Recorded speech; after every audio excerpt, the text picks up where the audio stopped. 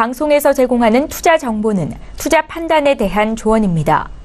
방송에서 제공하는 주식의 가치, 가격 상승 및 가격 하락에 대해서는 방송사에서 보장하지 않습니다.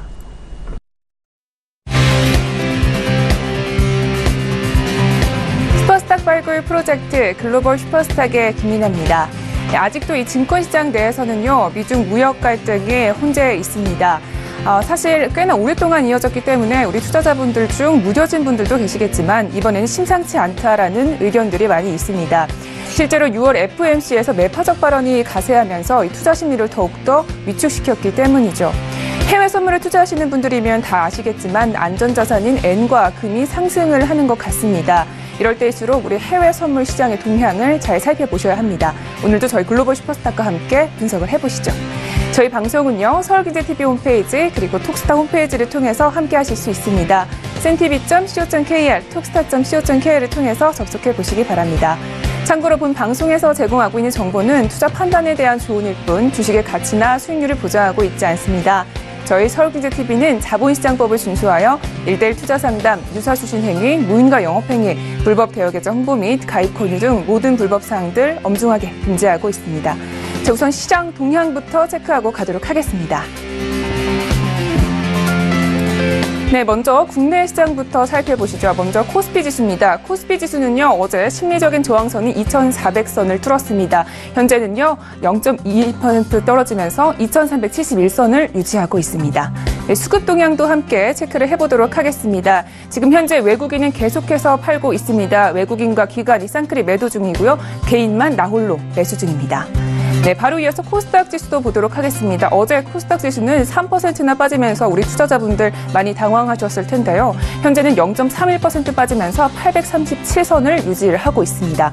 네, 바로 이어서 수급도 또 함께 체크를 하도록 하겠습니다. 네, 수급은요, 개인과 기관이 팔자세고요, 외국인이 300억 원 정도 매수 중입니다. 네, 이 코스닥 같은 경우는요, 사실 코스닥 상장사 내 중에서는 이 중국의 수출 기업들이 많기 때문에 하락폭이 큰 점을 유념을 해주셔야 될 것 같습니다. 네, 바로 이어서 해외 선물 시장도 체크를 해보도록 하겠습니다. 네, 해외 선물 시장 나스닥 지수입니다. 현재 0.65% 떨어지면서 7,229선을 유지하고 있습니다. 네, 바로 이어서 S&P 500 지수입니다. S&P 500 지수는 0.5% 떨어지면서 2,765선으로 유지하고 있습니다. 네, 바로 이어서 달러 인덱스도 함께 보도록 하 죠. 달러 인덱스는요, 현재 0.17% 떨어지면서 94로 흘러가고 있습니다. 네, 상대적 지수라고 볼 수 있는 금가입니다. 금은 현재 0.27% 오르면서 1283선까지 올라왔습니다. 마지막으로 crude oil도 체크를 해보도록 하겠습니다. crude oil은 0.3% 떨어지면서 65달러로 거래 중입니다. 네, 중국 시장을 한번 체크해 보도록 하겠습니다. 중국 시장은요, 어제 용선제로 휴장이었습니다. 그래서 현재 15일 마감장을 알려드립니다. 15일은요, 0.73% 떨어지면서 3,021선으로 마감했습니다. 네, 마지막으로 항생 지수도 함께 체크를 해보도록 하죠. 항생 지수는요, 0.43% 떨어지면서 3309선에서 마감했습니다. 네, 마지막으로 암호화폐 시장도 함께 체크를 해보도록 하겠습니다. 암호화폐 시장 현재 비트코인은 700만 원대에서 움직임은 별로 보이지 않고 있습니다. 나머지 에이다, 이오스, 아이스테이는 이더리움도 네, 수포 움직임은 별로 보이지 않고 있는 부분 확인했고요. 네, 다른 코인들도 함께 보도록 하겠습니다. 퀀텀은 0.08% 빠지고 있고 리플과 네오 스텔라 루멘, 비트코인 캐시는 소폭 상승 중입니다.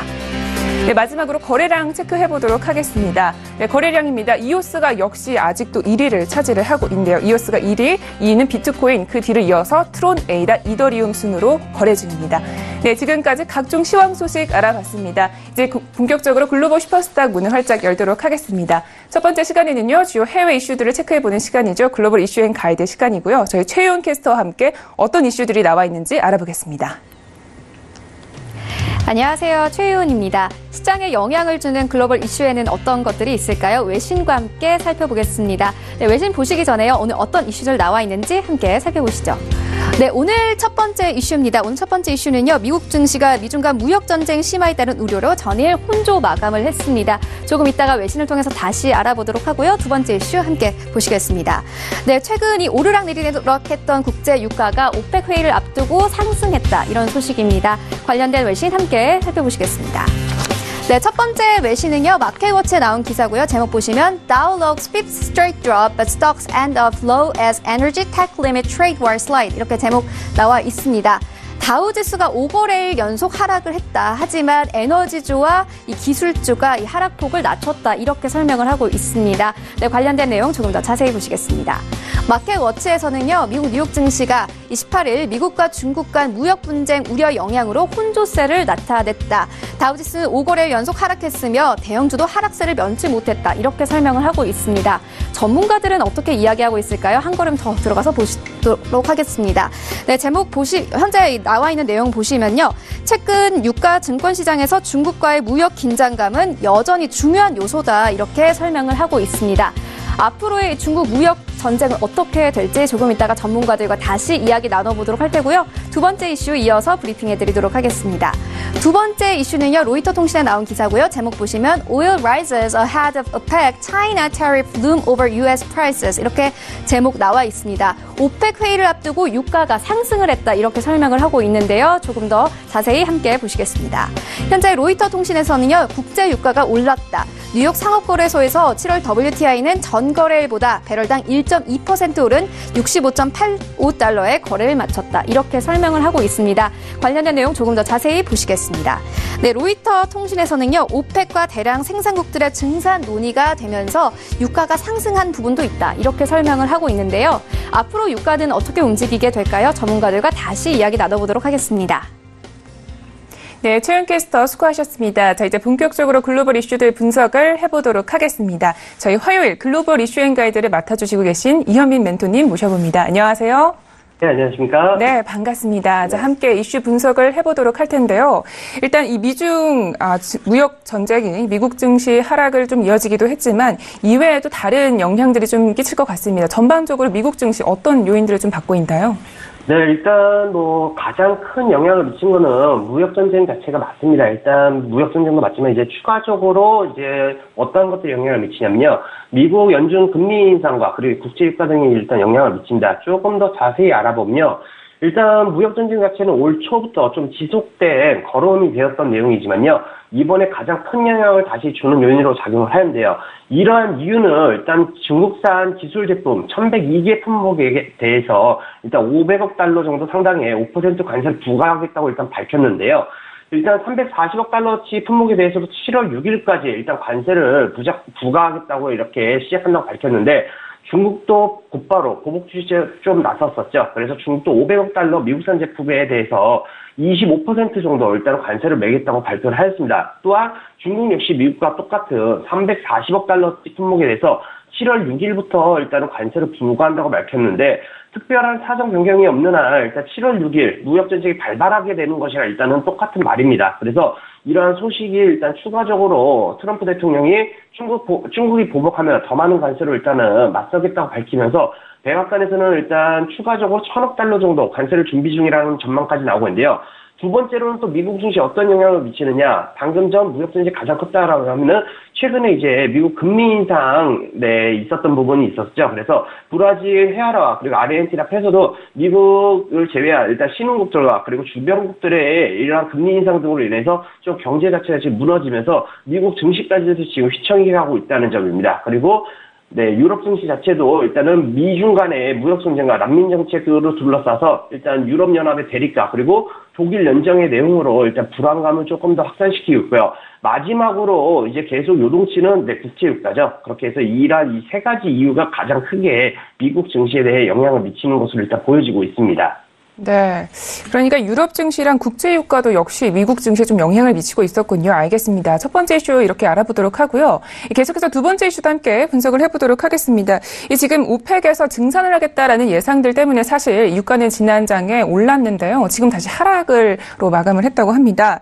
지금 어떻게 좀 대응을 하는 게 좋을까요? 자, 지금 계속 유가의 경우에는 움직임 자체가 평균적으로 100에서 한 120틱, 좀 크게 움직여 200틱 이내에서 움직이는데 이제 전일 그리고 전거래일보다 이제 지난 금요일이죠. 계속 200틱 이상의 큰 움직임을 나타내면서 지금 오르락 내리락 강한 움직임을 나타내는데요. 먼저 미중 간의 무역 전쟁 관련해서 유가가 일단 큰 영향을 미친다고 얘기를 했는데 일단 이러한 이유 자체도 무역할 때는 분명 유가가 빠질 수가 없겠죠. 그래서 무역 전쟁 우려로 인해서 유가 급락세를 보이고 또는 완화 소식의 상승세를 보이는 등 이러한 식으로 좀 큰 영향을 보이고 있습니다. 근데 전일 상승은 먼저 무역전쟁 간의 긴장감, 긴장감은 지속 유지한 채로 일단 상승을 보이는데요. 이러한 이유는 일단 22일, 23일 오스트리아빌에서 일단 열리는 일단 정례회, 오펙의 정례회이죠. 그래서 감산 합의 완화 가능성도 유가에 영향을 일단 미친 것으로 일단 보여지고 있습니다. 일단 지난주에도 계속 말씀드렸지만요. 오펙 정례회 마치기 전까지 유가는 지속 높은 변동성 장세를 일단은 네, 나타낼 수 있기 때문에 네, 좀 중장기적으로 보시는 것보다는 20일, 23일 정례회 끝나고 나서부터 조금 포지션을 중장기적으로 보시는 게 유리할 것으로 보, 보여지고요. 지금 지난 거래일과 지난 주 금요일 날에도 말씀드렸지만은 제가 항상 세 구간에 대해서 말씀을 드립니다. 100에서 120T 그리고 160에서 180 그다음 220틱 이상의 one-way장 자체를 말씀을 드리는데 항상 이 세 구간 안에서 변동성이 높을 때에도 움직임을 나타내고 있기 때문에 이러한 구간을 이용한 day trading 전략을 구사하는 것이 네, 좀 더 유리할 것으로 보여집니다. 네, 알겠습니다. 이 증산은 유가의 하락으로 무역 전쟁은 상승으로 이어질 수 있다 이런 이야기고요. 이어서 20일 OPEC 회의도 잘 주목을 해보셔야 될 것 같습니다. 자, 이렇게 해서 이슈 두 가지 잘 짚어봤습니다. 자, 이번에는 이슈 두 가지를 바탕으로 가이드 한 줄평을 들어볼 시간입니다. 네, 멘토님 오늘의 가이드는요? 네, 매매에서 가장 중요한 것은 공격이 아니라 방어라고 말씀드리고 싶습니다. 네, 공격이 아니라 방어다. 이렇게 좀 투자를 하게 되면 좀 중장기적으로 또 투자를 할 수가 있죠. 네. 일단 뭐 기본적으로 우리 시청자 여러분들도 그렇고 이제 개인이 매매를 할 때 보면은 기본적으로 이제 우리가 좀 공격 투자라거나 또는 추격 매매라든지 이제 어떻게 보면 좀 공격적으로 매매하는 습관들이 있습니다. 그렇지만은 이런 공격적인 습관적인 매매보다도 어떻게 보면 우리가 조금 더 항상 실수를 줄일 수 있는 부분을 네, 줄이면서 확률을 높여가면 그만큼 조금 더 수익이 날 확률이 높아지는 거기 때문에 항상 이제 수익에 대해서는 이제 확률 싸움이죠. 그렇기 때문에 우리 항상 놓치는 네, 기준이라든지 또는 매동 매매라든지 이러한 부분들을 줄이다 보면 방어를 해 나가다 보면은 결과론적으로는 이제 수익이 날 수 있다 이러한 내용입니다. 네, 알겠습니다. 가이드 한줄평 잘 들어봤습니다. 자, 본격적으로 지난 장엔 좀 어떤 trading 전략을 펼치셨는지 그리고 오늘은 좀 어떻게 대응을 하면 좋을지 들어보도록 하겠습니다. 먼저 유로FX부터 봐보도록 하겠습니다. 자, 먼저 유로FX의 경우에는 전일 시가고 고가 라인이 좀 강한 저항 라인이었다가 이제 강하게 다시 한번 돌파하면서 매수세를 보였었는데요. 전일 쉽게 전거래 고가를 갱신하지 못하면서 매도로서 이제 시가 라인에서는 충분히 네, 강한 저, 저항이었기 때문에 돌파하고 나서 지지였죠. 그래서 어제 전일 고점을 쉽게 갱신하지 못하면서 매도 대응을 그래서 시가 라인까지 가져오는 부분을 네, 대응을 하였었습니다. 자, 금일의 경우에는 일단 시가하고 저가 라인이 또 강한 지지 역할을 해주고 있는데요. 자, 전일 시가고 고가 라인 자체가 강한 저항을 역할을 했다고 하면은, 네, 금일의 경우에는 반대로 시가고 저가 같은 위치에 있으면 강한 지지 역할을 하겠죠. 그렇기 때문에 일단 매수적 관점이 조금 더 유리할 것으로 보여지며, 지금 전반적으로 이제 달러에 의해서 유로패스가 움직이지만은, 이제 무역전쟁과 그리고 주 택 지표들 이제 부각되면서 옆 환율에 비해서 좀 약세를 나타냈던 부분들이 있습니다. 그렇기 때문에 금일의 경우에는 일단은 시가 저가 라인 자체가 무너지기 전까지는 매수로서 어디까지 조금 더 열어둘 수 있냐 1.18260 라인까지 일단은 매수로서 열어둘 수 있으며 지금 전거래일 네, 정거래일과 그리고 3거래일 전에는 네, 강한 매도세 이후에 일단 어떻게 보면 약간 조정, 네, 아래쪽에서 조정 보이는 모습을 보였지만은 전반적으로 이제 저가 라인 자체가 올라가면서 움직임 자체를 나타내기 때문에 금일 추가적으로 올라간다 할 때는 1.186 라인까지 다만 지금 무리한 매수 대응보다도 추가적으로 시가나 저가 또는 1.170 라인 부분에서 강하게 지지받는 모습을 보면서 매수 대응하는 것이 유리할 것으로 보여집니다. 그리고 매도 대응 자체는 전거래 고가에 1.17040 라인이 무너지기 전까지는 일단 지속적으로 매수 관점으로 대응하시는 게 유리할 것으로 보여집니다. 다음으로 5일 봐보도록 하겠습니다. 자, 유가의 경우에는 전일 아시아장에서 강하게 네, 하락세를 나타내는 이후에 매수세를 나타내는데요. 전일의 경우에는 일단 다시 한번 시가고 고가, 유로에펙스와 마찬가지로 강하게 돌파한 이후부터는 이제 매수적 관점으로서 어제 매수 대응으로 65.50라인까지 일단 저는 대응을 하였었는데요. 추가적으로 65.80까지 새벽장에 조금 더 올라갔으나 전일 고점 자체가 오늘의 경우에는 강한 저항 라인 역할을 할 것으로 보여집니다. 지금 강한 내림 이후에 다시 한번 반등을 하고 있지만은 전일 고점과 지금 당일 고점 시가 라인에서 지금 붙어 있는 만큼 65.70 라인과 65.80 라인에서 강한 저항을 역할을 할 것으로 보여지는데요. 금일 위쪽으로 갱신하지 못한다고 했을 때 65.80 라인과 66 라인대를 안착하지 못한다 했을 때는 다시 한번 65.00과 64.90 라인까지는 한번 내려올 수 있으며 다만 65.80과 90 라인이 안착된다고 했었을 때는 위쪽으로는 66.40 라인까지도 상승할 수 있다는 점 참고하시면 좋을 것 같습니다. 그렇기 때문에 매수는 65.80 라인 돌파하고 나서부터 다시 한번 내렸을 때 시가, 당일 시가라든지 또는 65.50에서 지지시 매수적 관점으로서 대응하시는 게 유리할 것으로 보여지고요. 다만 위쪽 65.80 라인을 갱신하지 못한다 했을 때는 매도적인 관점으로 65 라인 끝까지 열어두면서 대응하시는 게 유리할 것으로 보여집니다. 다음으로 골드 봐보도록 하겠습니다. 자, 골드의 경우에도 지금 강한 하락세 이후에 유로FX와 같이 전일 조가 아래쪽에서 지금 조정받는 모습을 보였는데요. 지금 골드의 경우에도 전혀 고점을 살짝 갱신하긴 했지만은 아직까지 아시아장에서는 큰 움직임 나타나지는 않고 있습니다. 골드의 경우에는 추가적으로 전일의 경우에는 제가 무리한 움직임이 나타나지 전까지는 일단은 네, 조정장이 나올 수 있기 때문에 무리한 대응은 하지는 않았는데요. 네, 금일의 경우에도 일단 1286 라인대가 다시 한번 돌파된다면 그때부터 매수적 관점으로서 대응을 하시는 게 유리할 것으로 보여지며 일단 최대한 아래쪽 1280 라인 무너지기 전까지는 지속적으로 위쪽으로 매수 관점을 열어두시는 게 좋을 것 같습니다. 그래서 1차적으로 1290 라인까지 네, 간단하게 일단 볼 수 있고 네, 2차적으로는 1295 그리고 1300 라인까지 열어두면 좋을 것으로 일단 보여지는데요. 아직까지는 큰 움직임이 나타나지는 않기 때문에 충분히 다시 한번 오늘 당일 시가 라인까지도 내려올 수 있습니다. 그렇다면 시가 부분에서 다시 한번 지지 라인 맞는 부분이 보인다면 그때 이제 복수 계약자분들은 같이 매수 대응을 다만 위쪽에서 86라인대가 다시 돌파된다 했을 때는 좀 비중 줄여서 단기약 위주로서 매수 접근이 조금 더 유리하다라고 말씀드리고 싶습니다. 마지막으로 나스닥 간단하게 살펴보도록 하겠습니다. 자, 나스닥의 경우에는 전일 강한 하락 이후에 시가 고가 라인 부분까지 다시 한번 반등, 만회하는 모습을 보는데요. 금일의 경우에도 일단 아시아장에서 시가 고가 라인이 강한 저항과 그리고 전일 시가 라인까지 같이 겹치면서 7,274 라인과 5 라인 때는 강한 저항 역할을 할 것으로 보여집니다. 금일 추가적으로 유럽장까지도 내려올 때는 1,200 8라인까지 추가적으로는 1200라인까지도 무너질 수 있으나 일단 1200라인은 강한 이제 지지라인 구간으로서 이 라인 자체에서 만약에 변곡 현상이 되면서 반등한다 할 때는 금일 중으로 다시 한번 시가 고가 라인까지 올라올 수 있다는 점 참고하시면 좋을 것 같습니다. 이상입니다. 네, 알겠습니다. 지금까지 유로FX, 오일, 골드, 그리고 나스닥까지 굉장히 구체적으로 잘 짚어주셨습니다. 자, 이렇게 해서 글로벌 이슈 and 가이드는 여기까지 하도록 하겠습니다. 오늘도 말씀 고맙습니다. 네, 감사합니다. 네, 글로벌 이슈 앤 가이드 화면으로 정리하겠습니다.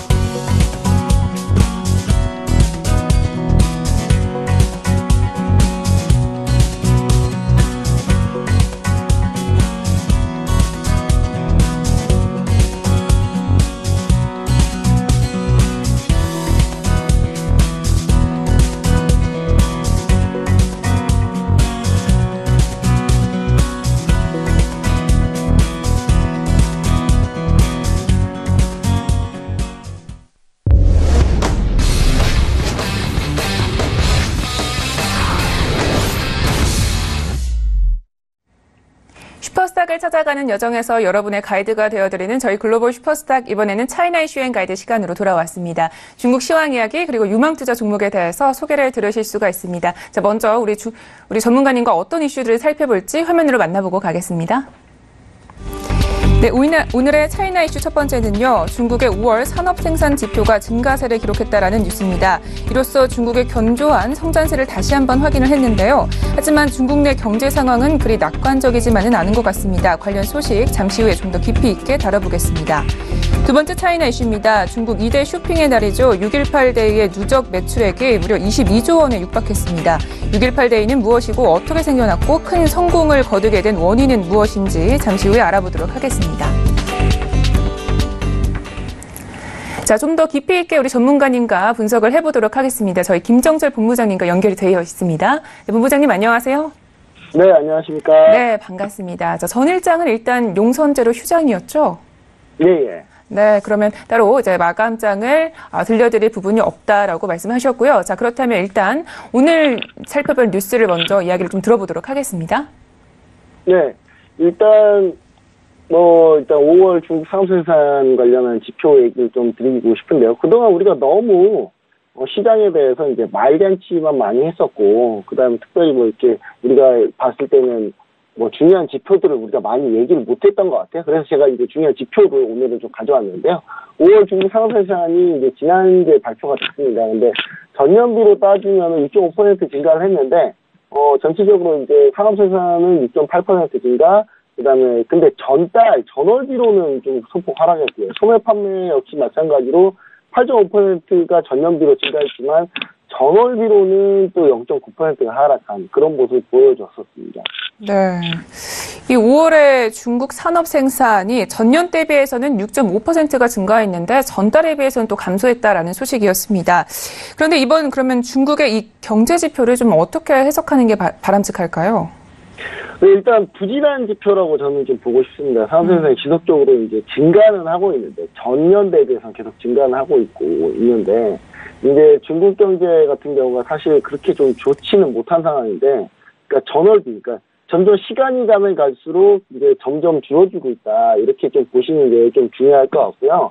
그 다음에 이제 제일 중요한 부분은 어떤 부분이냐면, 또 중국의 고정자산 투자, 중국의 고정자산 투자가 전년 대비해서 2.1% 증가를 했는데, 어, 증가율이 이제 1월에서 4월 누적 대비해서 0.9%나 감소를 했습니다.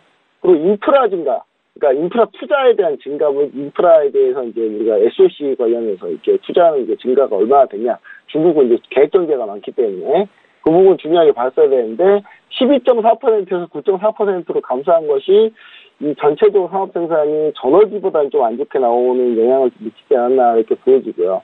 반면에 하이테크 제조기기, 제조 부분 투자 같은 경우는 1월에서 5월 누적 기준으로 대비 9.8%, 그 다음에 8.2%가 증가를 했습니다. 그러니까 증가율 기준으로는 1월에서 4월 누적 대비해서는 한 2.8, 0.3%가 정도 증가를 했는데요.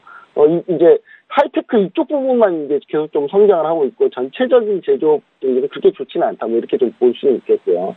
그 다음에 5월 생산자 물가 지수가 이제 전월 대비해서 다시 이제 상승세를 기록하고 있는데 전년 대비해서 이제 4.1% 정도 상승을 했습니다. 물론 이제 여름철을 앞두고 전체적으로 부진한 경제 지표를 이제 보여주고 있었는데 5월 치고는 나쁘진 않았습니다. 근데 중요한 건 이제 6월, 6월, 7월 넘어가기 시작하면 조금 이제 경기가 좀 다운될 거거든요. 좀 이제, 이제 무더운 여름철에 좀 중국 경기가 좀 그렇게 좋지는 않았던 모습을 많이 보여줬기 때문에 이제 그렇게 좀 보여줄 수 있겠지만 이제 어떻게 보면 또 신산업, 그러니까 하이테크, 신재생 에너지, 뭐, 그 다음에 뭐 전기차 이런 쪽 부분 같은 경우는 자율주행이나 뭐 이런 쪽 부분 같은 경우는 이제 성장세는 계속 지속하고 있다. 뭐 이렇게 보시면 가장 좋을 것 같습니다. 네, 알겠습니다. 이 중국의 제조 PMI 지표를 봤을 때는 5월에 지금 전월 대비해서 0.5%나 상승을 했습니다. 이 부분을 보면 좀 단기 반등권이 아닌가 싶기도 한데요. 지금 보면 어떤 지표에 대해서 전문가들마다 다양한 의견들을 내놓고 있습니다. 이렇게 달라지는 의견은 뭐 때문일까요? 사실 이제 좀 해석 자체가 좀 애매하거든요. 중국 지표 자체가 좀 나온 게 좀 애매하게 나오니까 이제 해석이 좀 여러 가지로 갈리는데 일단 중국 경제가 현재 지금 압박을 받고 있는 가운데 좀 지표가 나왔다. 이런 부분을 좀 따지고 봤을 때는 뭐 그래도 뭐 나쁘지 않은 거 아니냐. 뭐 이렇게 좀 볼수 있겠습니다.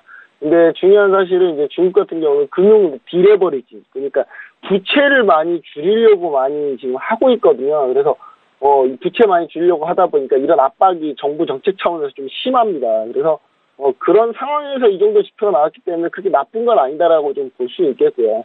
실제로 주식금융 채권 발행, 그 다음에 은행대출, 그 다음 부채투자 같은 법인금융 채널, 기업 부채가 좀 많거든요. 그래서 법인금융 채널에 대한 규제 강화로 한 5월 사행적 규모가 전체적으로 전월 대비해서 50%나 감소했습니다. 근데 그 정도 자본이 감소, 그러니까, 그러니까 투자 자본을 대출로 많이 해가지고 투자 자본을 많이 만들었는데 그게 이제 절반 정도로 줄었음에도 불구하고 이 정도 나온 거면 잘 나온 거 아니냐 이렇게 해석하는 쪽도 있고요.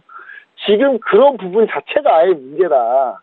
라고 이제 얘기하는 것도 이제 어느 정도 일리는 좀 있다고 볼 수 있겠습니다. 근데 또 하나의 관점의 차이는 뭐냐면 중국 정부에서 보는 관점하고 민간에서 보는 관점의 차이인 것 같아요. 그러니까 중국 사회가공원 같은 경우는 2018년 GDP 성장률 6.7%로 전망하고 있는데 민간에서는 사실 이 6.7%를 좀 믿지 않는 그런 모습입니다. 그리고 중국 정부가 최근에 이제 GDP 성장만 추구하지 않고 경제 구조 개혁하고 업그레이드에 좀 주목을 하면서 집중하고 있거든요. 왜냐하면 일본과 한국의 사례를 중국이 봤기 때문에 그거를 그대로 답습했다가는 이제 중국도 나중에 그런 이제 잃어버린 10년 뭐 이런 상황이 올 가능성도 있다라고 보고 상당히 적극적으로 좀 경제 구조 개혁을 많이 하고 있는 상황입니다. 그래서 이 부분에서 이제 어느 정도 갭은 어느 정도 많이 줄어든 상태이기 때문에 아직까지 그래도 민간하고 어, 중국 정부에서 보는 관점의 차이는 있다. 근데 시간이 지나면 지나서 이쪽 갭은 조금 조금씩 축소되고 있다.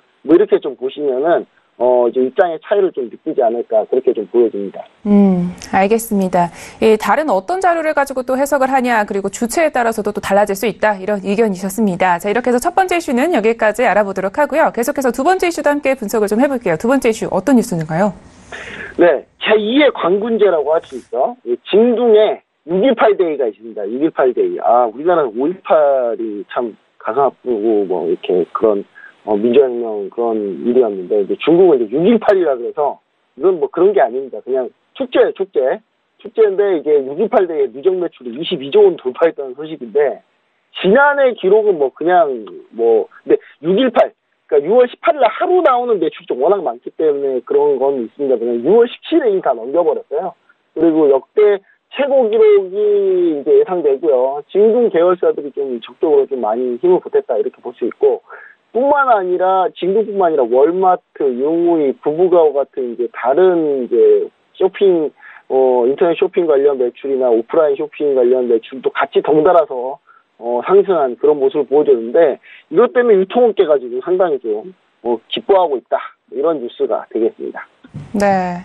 이 겨울에는 알리바바의 광군제 쇼핑 축제의 날 11월 11일이 있다면 여름에는 징둥의 6.18 쇼핑 페스티벌이 있는 것 같습니다. 자, 역시 올해도 좀 참 많은 화제들이 있었는데 이6.18 쇼핑 축제의 좀 배경이 뭔가요? 네, 일단 좀 6.18 같은 경우는 사실 이때쯤이 원래 6.18이 원래 유명하지 않았고요. 중국 같은 경우는 어제 휴장이었잖아요. 어제 휴장이었던 이 용선제가 제일 좀 유명합니다. 어제 용선제로 휴장이었는데 용선제는 뭐냐면 이제 6월에 이제 용선제가 홍콩에서 벌어지는 이제 그 수상 조정 경기, 그러니까 미국 외국으로 따지면은 서양으로 따지면 조정 경기라고 할 수 있죠. 그 비슷한 사, 이제 수상 경기를 이제 벌인 축제입니다. 이렇게 노져가지고 빨리빨리 가는 그 축제인데 이때 이제 비슷한 시기에 벌어지는 쇼핑 축제라 진동에서 이렇게 만든 쇼핑 축제다 보시면 좋을 것 같은데 하필 또 이게 진동이 창립 기념일이 6.18이 6월 18일이에요. 그래서 진동 같은 경우는 이제 중국의 그 5대 IT 거대 공룡기업 중에 하나인데 6월 18일 날 창립을 해가지고 이때가 맞춰서 좀 진행하고요. 또 용선제 같은 경우는 2300년 전에 이제 부패한 나라를 한탄해서 어, 몸을 던져 주, 이제 충신인데 몸을 던져서 죽은 충신이는데 그 불원이라는 그 충신을 기리기 위해서 만든 겁니다. 근데 이제 북을 치면서 달려가는 건데 북을 치면서 이제 그 이제 조정 이제 노점에서 가는 그런 뭐 경기도 같이 하는데 이게 이제 단오제 합니다. 6월 이제 홍콩 단오제 하고 이때쯤에 홍콩 여행 많이 가시거든요. 원래 우리나라도 많이 가는 편이고 그래서 이제 이게 이제 하필 이제 6.18의 진동의 6.18하고 좀 겹치면서 매출액이 좀 많이 상승한 그런 모습을 보여줬고요. 행사는 이제 진동의 6.18 쇼핑데이 행사는 6월 1일부터 시작은 합니다. 시작은 하는데 6월 18일까지 누적 매출액이 1274억이야. 우리나라 돈은 21조 8,200억 원이거든요. 어마어마한 매출입니다. 예, 지난해 총 매출이 1,199억 위안이었으니까 그냥 가볍게 돌파했다 이렇게 보시면 좋을 것 같고 기록 자체는 6월 17일 날 이미 다 돌파해버린 그런 상황이었습니다. 네. 이 얘기를 듣다 보니까 이 축제에 저도 함께 참여를 해보고 싶은데요. 자, 올해 특히 이렇게 6.18 축제 매출액이 급증하게 된 이유들이 있을까요? 사실 이 지난 알리바바 광군제 같은 경우도 매출액이 굉장히 상당하다라는 이야기를 들었었거든요. 지금 현재 이 중국의 소비 성향이 좀 바뀐 건지 아니면 다른 이유들도 있는지가 궁금합니다. 일단 중국에서 뭐 적극적으로 빌고 있다는 사실 뭐 하나 이제 추가해드리고요. 이제 원래 이제 주로 이제 이렇게 매출이 좀 잘 나왔던 이유 자체가 좀 진동에서 상당히 좀 많이 좀 심혈 기울였던 것 같아요. 그러니까 작년에 알리바바의 광군제를 보면서 어, 이 부분에 대해 상당히 좀 많이 신경을 기울이고 심혈 기울여가지고 6월 18일 이 축제 페스티벌을 준비를 했는데 진동그룹 계열사들이 총동원돼가지고 적극적으로 좀 많이 지원을 해서 매출이 좀 늘지 않았나 이런 생각을 해봅니다. 그러니까 진동의 물류 계열사 중에 진동 물류 같은 경우는 이번 행사 기간에 이길 다, 당일 배송, 이길 배송 이런 상품 주문량의 한 90%를 담당을 해줬고요. 스마트 물류 기술로 이제 발전되면서 이게 정말 황당하게 주문을 딱 인터넷으로 주문, 모바일로 인터넷으로 이렇게 주문을 하자마자 한 시간 만에 배송되는 그런 서비스도 출시했습니다. 근데 이게 폭발적인 호응을 얻었다고 그래요. 그러니까 내가 주문하면 한 시간 뒤에 그냥 띵동 하면서 찾아오는 거예요. 그러니까 이런 주문 이제 시스템도 생, 이제 출시를 해서 상당히 좀 호응이 좋았다고 하고요. 금융계열사 진동금융 같은 경우도 은행하고 입장업체들 협력해가지고 7억 원 정도 혜택을 좀 제공했고요. 그러니까 머니나 뭐 이런 거 있잖아요. 사이버머니나 뭐 이런 걸로 해서 뭐 쿠폰이나 이런 걸로 한 7억 원 정도 진동을 뿌렸고요. 그 다음에 20만 개 공급업체들, 그러니까 진동에 들어와 있는 게 한 20만 개 업체 정도 돼요. 근데 이 업체들에 대해서 이제 은행과 협력해서 약 400억 원의 대출을 일으켜서 어, 이번 진동 6.18 축제를 많이 이렇게 준비를 했다. 이렇게 좀 보시겠고, 아까도 얘기드렸지만 시기적으로 이제 단호하고 또 아버지의 날, 그 다음에 러시아 월드컵 좀 겹쳤습니다. 그러니까 중국의 이런 쇼핑 문화가 좀 적창되고 있는 모습인데 좀 특이한 점은 뭐냐면 러시아 월드컵이 껴서 그런지요. 맥주의 판매량이 어마어마했다고 합니다. 이게 그 쇼핑 부분으로 해가지고 맥주 판매량이 어마어마했는데 막상 중국은 월드컵에 진출하지 못했습니다만은 월드컵 축제는 참 재밌게 잘 즐기고 있지 않나. 예, 우리나라는 어제 졌죠. 예, 우리나라 월드컵 열기가 별로 안 좋은 것 같아서 좀 안타깝습니다. 네. 예, 전반적으로 많은 다른 이벤트들도 겹쳐 있기 때문이었습니다. 자, 이렇게 해서 이슈 두 가지 잘 알아봤습니다. 자, 이번에는 이슈 두 가지를 바탕으로 해서 우리 전문가님이 멘토님이 가이드 한 줄평을 주실 차례입니다. 네, 멘토님, 오늘의 가이드는요? 네, 사실 이 얘기를 하고 싶어서 제가 앞에 진동을 꺼냈는데 네. 빼빼땡데이라고 있잖아요. 우리가 빼빼땡데이. 빼빼땡데이는 상업적이라고 비판하면서 어, 중국은 쇼핑 축제로 인식을 한다. 어, 이런 거를 좀 전 얘기하고 어, 싶네요. 우리나라랑 좀 사회적인 분위기가 다르군요. 네. 네. 그러니까 광군제에 이어서 용선제를 이제 벌어지는 이 이제 용선제 시기에 벌어지는 6.18 축제 같은 경우가 중국 정부가 이 사실 이 축제 쇼핑 축제를 전략적으로 많이 지원을 해줘요. 이유가 있습니다. 이제 자국 기업이라는 거에 대한 상당한 좀 그런 인식도 있지만 중국의 소비 내수 활성화를 위해서 상당히 많이 노력을 하면서 이 축제를 만든 거거든요. 미국의 블랙 프라이데이 때문에 우리나라 같은 경우 어떻습니까? 미국의 블랙 프라이데이 때 우리나라가 해외 직구를 해서 미국에 있는 사이트에서 결제를 해서 그거를 물건을 받지 않습니까? 해외 직구를 통해서. 워낙 싸니까요. 근데 중국이, 중국도 이게 이제 시대가 발전하다 보니까 사람들 생활 수준이 높아지다 보니까 미국의 블랙 프라이데이를 쪽으로 따라가려고 하는 그런 징후가 보이기 시작하니까 바로 중국 내에서 그거를 서- 선수를 친 게 이제 광군제고요.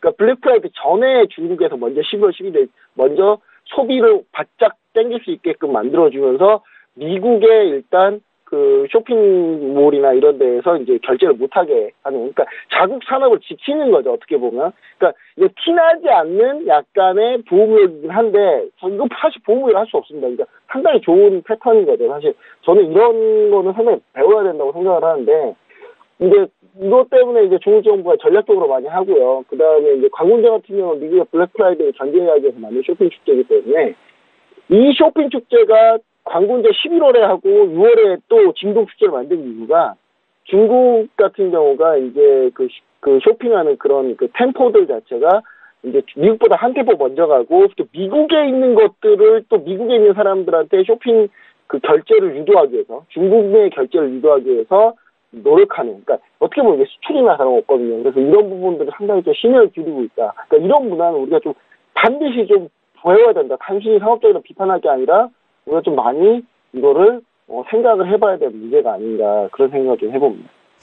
네, 알겠습니다. 땡땡대로 상업적으로 생각을 할 수도 있겠지만 이 중국 정부는 투자를 좀 지원을 해주고 있었군요. 자, 말씀해주신 오늘의 가이드에 맞춰서 오늘의 시장 매매 전략도 이제 들어보도록 하겠습니다. 오늘의 추천 종목은요? 네, 오늘 이제 한동안 제가 추천을 안 드렸죠. 안 드렸는데, 뭐이 종목도 이제 제가 드리긴 합니다만은, 추천 종목이라고 하기엔 조금, 예, 매수가가 좀 밑에 내려왔기 때문에, 그 부분 좀 염두에 보셔야 되는데, 어, 수능 광학테크입니다. 수능 광학테크. 02382, 코드번호는 02382, 그 다음에 홍콩 증시에 상장되어 있는데, 뭐 중요한 거는 수능 광학테크?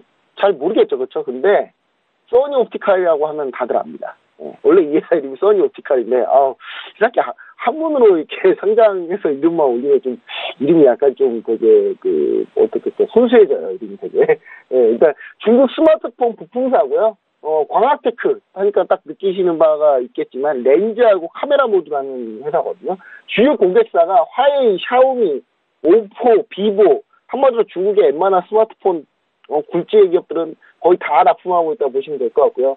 2017년 매출을 보면 85% 이상이 스마트폰 관련 여러분 기계 매출입니다. 그리고 2018년 써니옵티칼의 이제 handset 렌즈 모듈, 카메라 모듈 출하량이 폭발적으로 증가했습니다. 무려 70% 증가했고요. 렌즈 모듈도 70%, 카메라 모듈도 58%나 증가했습니다. 그리고 중국 스마트폰 이게 왜 증가했냐면 dual 카메라가 점점 늘어나면서 이제 우리나라는 대부분 dual, dual 카메라인데 예, 중국은 이제 막 늘어나고 있는 거예요. 그래서 그리고 이제 또 아이폰 X에도 이제 3D 센스 모드를 납품을 하는데 이 부분이 좀 상당히 좀 괜찮다라고 볼 수 있고 뭐 이 블랙박스나 이런 데 렌즈 모드들이 들어가는데 이게 이제 어, 자율주행하고 또 연관이 있는 그런 상황이기 때문에 이 그 써니 옵티칼이 만약에 공장 문 닫잖아요. 중국의 거의 모든 스마트폰 제조사 다 문 닫는다 보시면 됩니다. 그 정도로 상당히 좀 영향이 강하다라고 보실 수 있고 중국 IT 산업의 기초를 담당하는 핵심 부품사다. 이렇게 보시면 좋을 것 같은데요. 차트를 보시면은, 차트를 보고 얘기 드릴게요. 차트를 보시면은, 지금 현재 좀 많이 올라왔습니다. 지금 많이 올라왔죠. 심지어 이 많이 올라온 게 역사적 신고가 상황인데, 현재 상황입니다. 역사적 신고가 상황인데, 어, 상당히 많은 성장세를 보여서 제가 봤을 때 다시 한번 이거 관심을 기울여야 된다. 라고 좀 보여주고요. 사실 이때가 정말 좋은 타이밍이었는데, 제가 봤을 때는, 어, 이 지금 현재 상황 자체가 조금 더 밀리는 상황. 그러니까 50, 매수가가 152.500에 맞춰놨고요. 2부 2라인입니다. 2라인. 매수가 좀 내려오면 그때 매수한다 보시면 되고, 선저가는 142, 132.600, 600, 그 다음에 1,500가는 172.700, 정고점 라인이고요. 2,500가는 193.300이라고 보시면 좋을 것 같고요. 이, 이, 어, 이, 어, 순우광학 테크 같은 경우는 어, 우리나라의 그 스마트폰 부품사들하고도 많이 좀 비교를 해서 보시면 좋을 것 같습니다. 네, 알겠습니다. 순우광학 테크에 대해서 들어봤습니다. 오늘의 차이나 이슈 가이드는 여기까지 하도록 하겠습니다. 네, 오늘도 말씀 고맙습니다. 네, 감사합니다. 네, 차이나 이슈 가이드 화면으로 정리하겠습니다.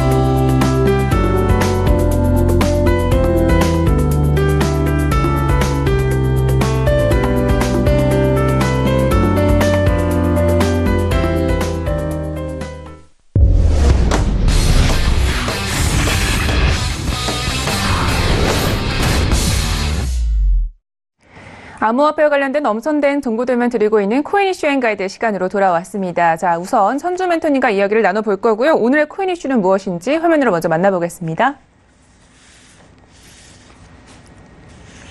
네.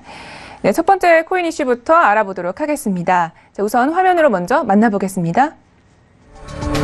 네, 암호화폐 시장에 지대한 영향을 미치고 있는 미국 증권위원회의 말 한마디 말 한마디에 암호화폐 투자자들의 관심이 집중되고 있습니다. 이번에는 또 어떤 발언이 많은 이들의 촉각을 곤두세우게 했는지 잠시 후에 자세히 짚어보겠습니다. 네, 두 번째 이슈입니다. 일본 암호화폐 거래소 코인체크가 다크코인의 거래를 전면 금지하겠다고 밝혔습니다. 코인체크는 왜 다크코인 거래를 금지했고 국내 시장 거래에는 어떤 영향을 미치게 될지 잠시 후에 알아보겠습니다. 네, 본격적으로 코인 이슈 분석을 해보도록 하겠습니다. 선주 멘토님 스튜디오에 모셨습니다. 네, 안녕하세요. 네, 안녕하세요. 네, 반갑습니다. 네. 자, 우선 코인 이슈 첫 번째 어떤 내용인가요? 네, 암호화폐 그 거래 시장에서 미국 정부의 입김이 좀 강하게 작용을 하고 있습니다.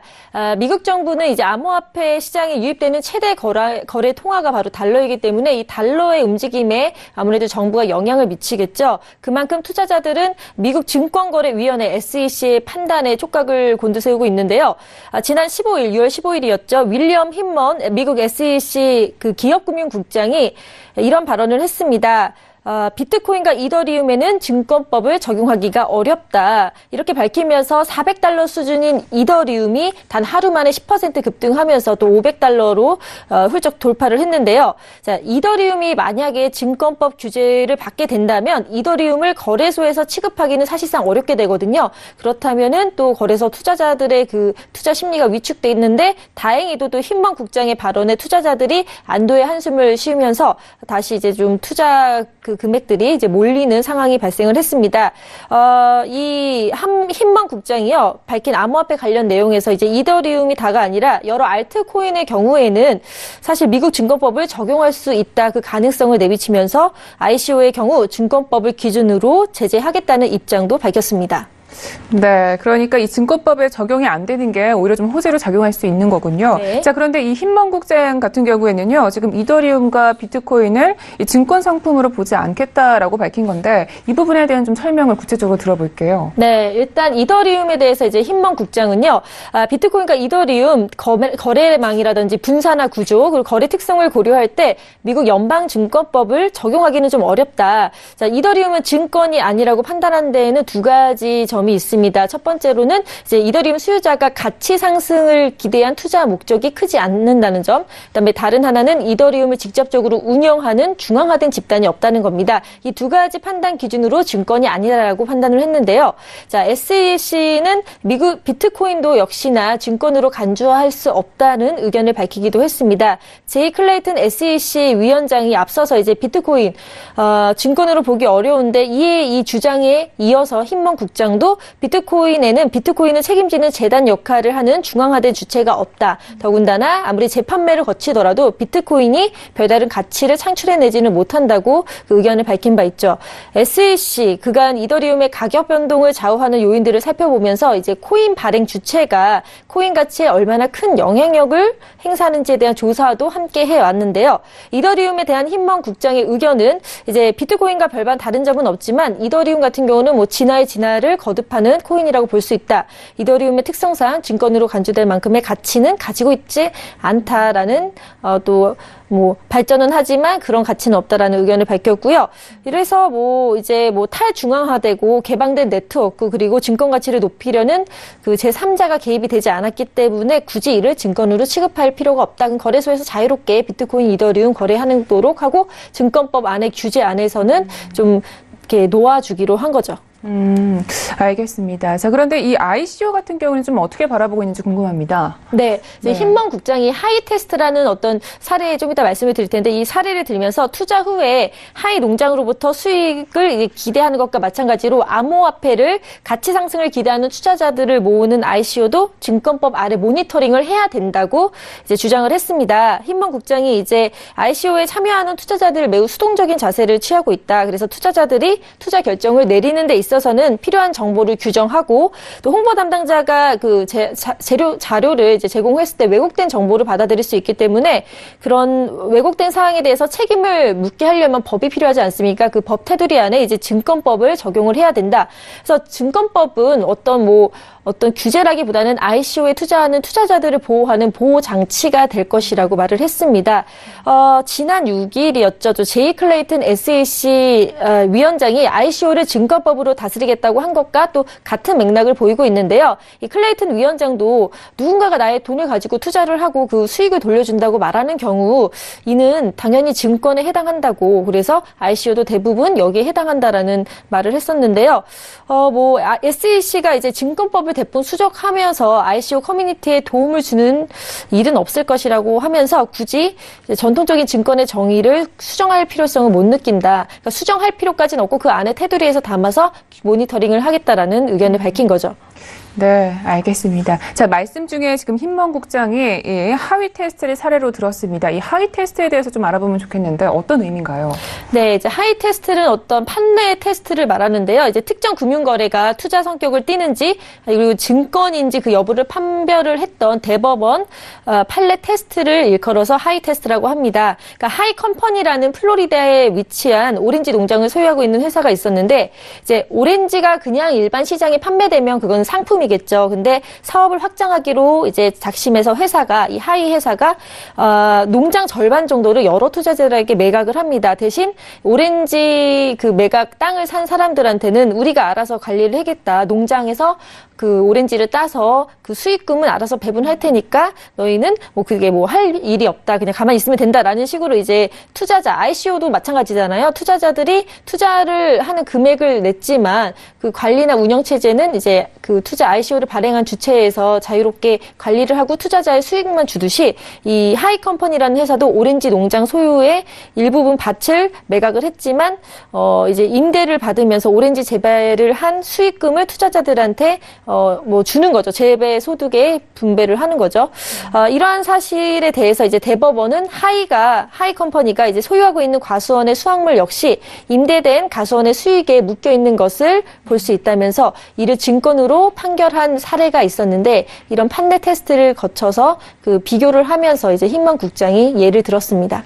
음, 알겠습니다. 자, 앞으로 이 SEC가 암호화폐 어떤 관점을 내놓을지 보시면 좋겠습니다. 자, 계속해서 두 번째 코인 이슈도 함께 살펴보도록 하겠습니다. 다크코인과 관련된 이슈네요. 네, 일본 금융당국이 이제 익명성이 강화된 암호화폐, 저희가 다크코인 두 개나 좀 말씀을 또 드렸었는데요. 코인 리뷰 시간에. 이 다크코인의 거래를 문제 삼아 온 당국 거래소가 그 중에서도 이제 당국 거래소의 코인 체크가 다크코인 거래를 공식 중단했습니다. 아, 일본의 이 같은 조치 앞으로 국내는 물론 세계의 다크코인을 거래하는 시장에 미칠 영향력, 파급력이 크다고 볼 수 있는데요. 이에 따라 모네로 대시, 지캐시, 어거 등 다크코인은 19일부터 거래가 중단되고요. 이번 조치로 암호화폐들 향후 일본 내 거래소에서 이 코인들은 좀 상장 폐지될 가능성이 큽니다. 어, 보통 이제 이번 조치는요 사기 목적으로 암호화폐를 이용하는 문제를 아예 차단하자라는 노력의 일환인데요. 어, 일본 금융당국 FSA 이 측에서는 암호화폐 업계 발전을 어, 저해하지 않으면서 개인 투자자를 보호할 수 있는 방법으로 어, dark 코인을 좀 중지를 하는 것이 맞다라고 했고요. 어, 금융당국이 이제 특정 암호화폐를 지정해서 거래 금지를 좀 권고한 것은 일본이 첫 사례라고 볼 수 있겠습니다. 음, 알겠습니다. 자, 그런데 이렇게 좀 dark 코인의 거래를 좀 중지한 계기가 있었을까요? 우리나라에도 좀 크지 않은 영향이 미칠 것 같은데요. 네, 뭐 코인 체크에서 발생한 NEM이라고 하죠. New Economy Movement 이 해킹 사건에서 비롯됐는데요. 지난 3월이었습니다. 5,800원의 램이 그러니까 우리나라 돈으로 약 5천억 원이 넘는 돈이었어요. 해커들한테 유출이 됐는데요. 당시 해커들이 이제 익명성이 보장되는 대시 모네로 지캐시 뭐 이 등의 dark 코인 코인 암호화폐로 전환을 하면서 이제 거래를 해서 문제가 됐었죠. 코인 체크의 대대적인 이 해킹 탈취 사건을 계기로 이제 dark 코인이 자금 세탁, 테러 자금 운용 등에 어, 이용될 수 있다. 이래서 그런 악화되는 악용되는 해당 거래를 보고를 받고 적극적으로 이제 움직이기 시작한 거고요. 어, 일본 당국의 이런 압력으로 다크코인 거래가 중지됨에 따라 상당수의 거래량이 줄어들 것으로 예상이 됩니다. 뭐 암호화폐 정보 제공 사이트 코인 마켓 캡에 따르면 이제 시가총액이 13위가 대시였거든요. 그리고 어, 시가총액 14위는 또 모네로 꽤 높은 시가총액을 차지하고 있는데 이것들의 거래량이 50% 이상이 일본에서 이걸 중지함으로써 어, 그런 좀 좀 큰 변화가 있을 것이라는 예상이 되고요. 국내에서도 마찬가지로 영향을 미치겠습니다. 아, 대시 같은 경우 국내 거래소 빗썸이라든지 업비트, 뭐 캐셔레스트 등에서 거래되고 있었는데 전체 거래량이 뭐 일본보단 적죠. 0.07% 이뤄지고 있지만 그래도 암암리에 이런 것들 이제 가격대가 또 하락을 하고 여러 가지 거래량이 줄어들면서 아마 국내 거래소도 dark 코인의 중지가 점점 활발하게 적극적으로 추진될 것이라고 예상이 됩니다. 네, 알겠습니다. 자, 이렇게 해서 코인 이슈 분석은 여기까지 하도록 하겠습니다. 오늘도 말씀 모두 고맙습니다. 네, 감사합니다. 네. 네, 오늘도 저희 글로벌 슈퍼스탁은 해외 선물과 중국 주식 그리고 암호화폐까지 전 세계를 대상으로 유망 투자 종목 발굴하기 위해서 열심히 달려왔습니다. 네, 저희 프로그램은요 서울경제TV 홈페이지 그리고 톡스타 홈페이지를 통해서 또 참여하실 수 있습니다. cntv.co.kr 톡스타.co.kr을 통해서 참여해 보시기 바랍니다. 참고로 본 방송에서 제공하고 있는 정보는 투자 판단에 대한 조언일 뿐 주식의 가치나 수익률을 부정하고 있지 않다는 점 다시 고지해 드립니다. 네, 글로벌 이슈앤 가이드 오늘은 여기까지입니다. 내일도 저희는 최선을 다하겠습니다. 함께 해주신 여러분 고맙습니다.